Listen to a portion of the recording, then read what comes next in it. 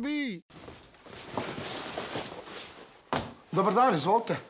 Dobar dan.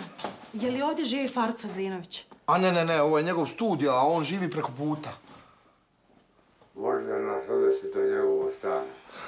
Dobro je spravi. Pošto je ovo, gospođo? Gospodine, ovo je veoma važno i hitno. Jel nas možete odvesti do njih? Evo, platili bismo vam. A, a ne morate vi ništa plaćat. Ja, divi eura, pa nikad vakav nisam vidio. Gospodine, žuri nam se. Šta ti bi?